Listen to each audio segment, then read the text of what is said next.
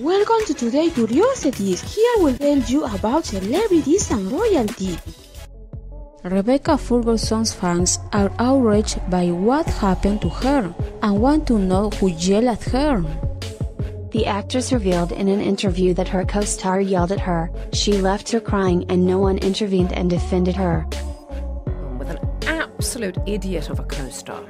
And this human being was being so insecure and angry because this person couldn't get the scenes out. And I think I was so vulnerable and comfortable that I got screamed at and I would cry walking off set. This person would literally look at me in front of the whole crew. Now fans have started searching for who former co-star Rebecca was talking about.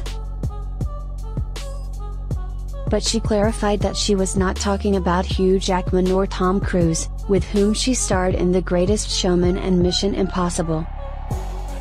Her former co-stars Dwayne Johnson and Emily Blunt have also ruled themselves out.